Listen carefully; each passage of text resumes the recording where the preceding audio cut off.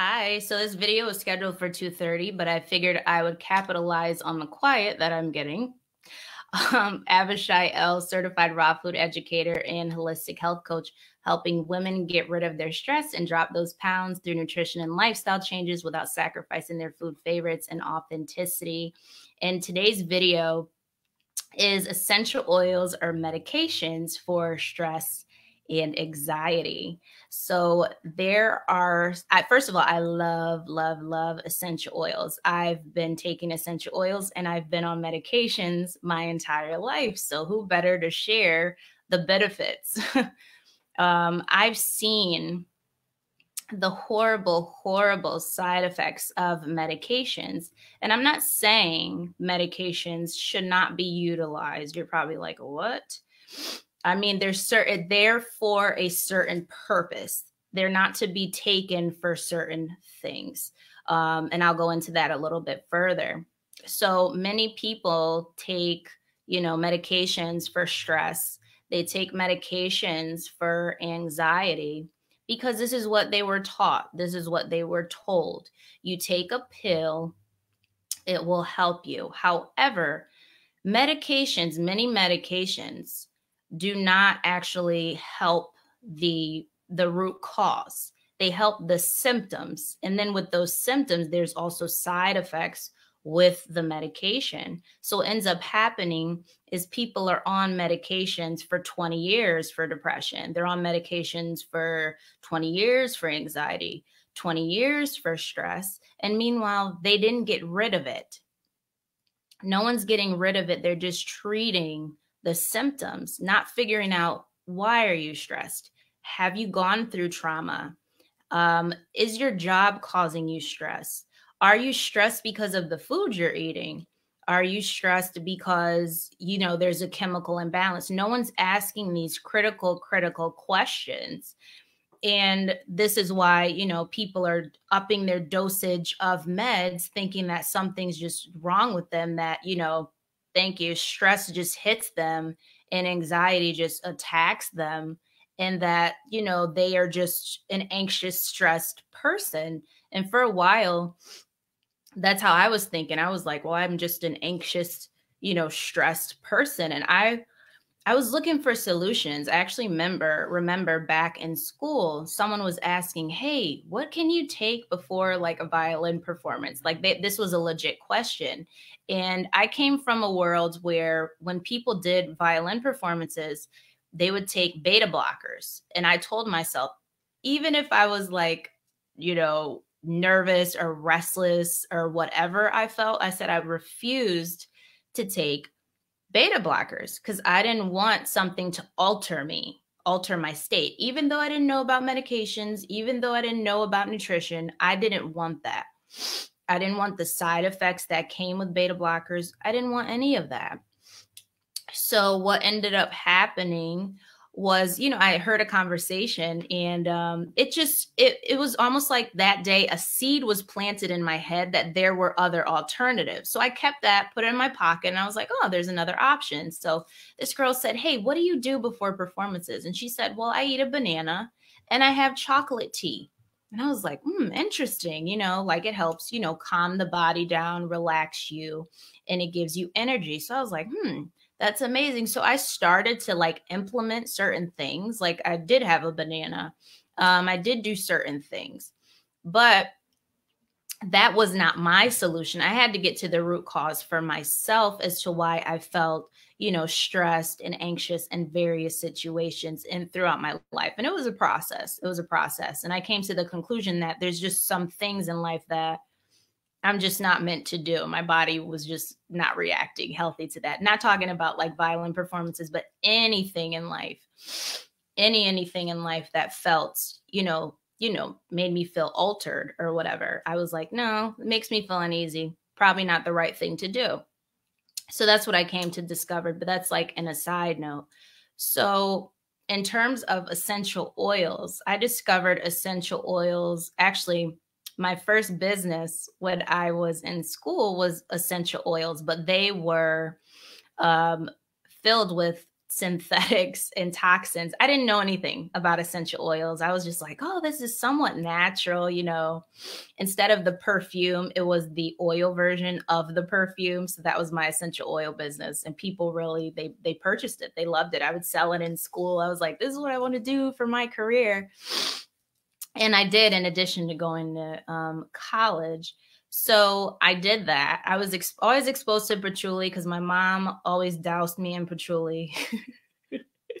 and a funny story actually, as a child, someone reported me to the principal, and the principal told everyone they couldn't wear perfume to school. I still smelled like patchouli because it wasn't a perfume, it was an oil. Mom's a hippie. So I was always exposed to essential oils, but then I think back in 2015, I actually got the knowledge of essential oils and I fell in love with them ever since I utilized them in my life. And as most of you know, you know, I did have past um, addictions, and that was because I was trying to think of something that would help me not feel depressed, that would help me not feel anxious, that would help me not feel stressed and I turned to toxic substances. But once I found essential oils, I was like, wow, I feel balanced. I feel relaxed. And for those of you, it is the best. For those of you who don't know what essential oils are, they are the medicine in the plant. So that's why you smell peppermint. Um, you can smell a peppermint plant. That's the essential oil. And essential oils can be found in the leaves, the stems, the bark, the trees, the flowers. They can be found everywhere. And they are designed to protect the immune system of plants. Okay, they the medicine is used to design is designed to protect the immune system of plants. And in biochemistry terms, we are similar to plants. And what happens with medications is instead of using the whole, they use the whole plant, the essential oil from the plant, and then they put isolated synthetic agents. They are awesome. They put isolated isolated synthetic agents in that to create a medication. What ends up happening is you get the side effects because you're trying to mix a whole plant with isolated synthetic agents. Can medications be utilized in some cases? Yes. But my first go to is essential oils because they are the they are natural medicine they are the earth's medicine they protect the integrity of the body they are 50 to 70 times more powerful than herbs thank you than herbs. And even though herbs should be utilized, you know, whether it's in tea, um, whether it's cannabis, I love, love, love cannabis um, of various varieties. Um, because you have an endocannabinoid system, you know, you, you actually need cannabis just like you need essential oils, but that's another another video. So oils for can they help with stress and anxiety? Absolutely. Because certain oils, especially the citrus oils, have monoterpenes.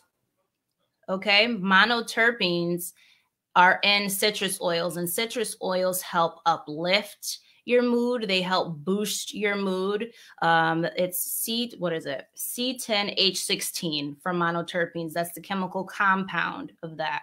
Okay, these are not like foo foo woo woo you know essential oils whatever they they they are actually plant medicine and they have real properties. And they're designed to boost mood and uplift and promote you know positivity.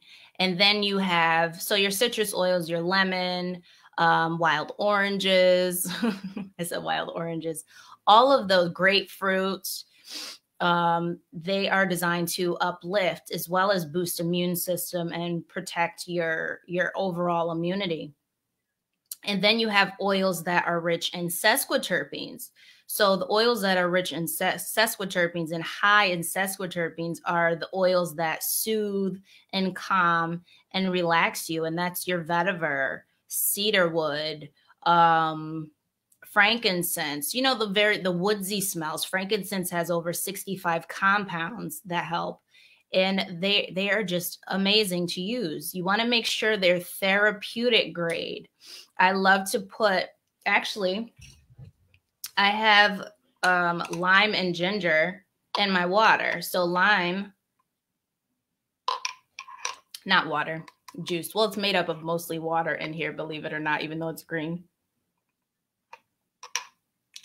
Lime is rich in monoterpene, so it helps boost your mood. So, say you're feeling bored or you're feeling stressed, you might want to put, I don't know, lavender and lemon in your water to help balance you out. You see how this works? So, can essential oils be used instead of medications? Absolutely. Can they be used in conjunction with medications? You have to check with your doctor because certain medications you can't mix certain oils with. There are certain oils, though, that you can mix. I know the top ones are like peppermint and grapefruit that you can't mix with other medications, but you can start incorporating these into your daily life to helping you feel better, get rid of anxiety, get rid of stress, boost your mood, in addition to your basic nutritional knowledge. Comment below if you have any any questions at all about this and I'll be glad to help you. I can talk about um, essential oils and medications all day. I love the science of essential oils and how they are high, so high, high frequency. I'm getting a visual of um, a lot of you are still worrying. Thank you. A lot of you are still worrying, and you're being asked to find your strength in all of this and start to take responsibility and accountability for how you're actually feeling. And um, you're welcome. Not be, you know, dependent. You really got to be independent because you're manifesting this. You're really manifesting this. I'm seeing a visual certain you're manifesting, you're going to start manifesting your fears. Take accountability, start implementing.